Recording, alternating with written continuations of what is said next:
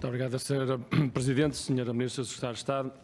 Sra. Ministra, Portugal é um dos poucos países a nível europeu que não tem um arquivo sonoro nacional. A criação do arquivo sonoro está previsto no programa do, do PS e nas grandes opções do, do plano. E na hum, audição realizada a quando da discussão do Orçamento de Estado para 2019, tivemos a oportunidade de ouvir um, a Sra. Ministra dizer que irão ser lançadas as bases para o arquivo sonoro. Eh, Senhora Ministra, nada de novo.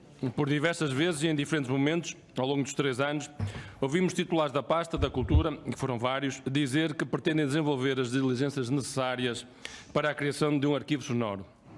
A falta de ação por parte de, do Governo nesta matéria é tal que levou os diferentes grupos parlamentares neste Parlamento a apresentarem projetos de resolução que estiveram na origem de uma resolução da Assembleia da República, publicada em março de 2018, que recomenda ao Governo, e cito, tome até ao final da presente legislatura as medidas necessárias para a criação de um arquivo nacional, sonoro nacional, com vista à, compilação, armazenamento digital, preservação e disponibilização pública do património sonoro, identificando o âmbito, as necessidades técnicas, recursos e equipamentos adequados.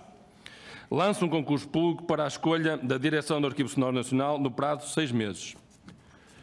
Senhora Ministra, será esta que finalmente o Governo vai fazer alguma coisa? Vou terminar, Sr. Presidente. Quando é que a Sra. Ministra prevê cumprir o que está previsto no, no programa do seu Governo?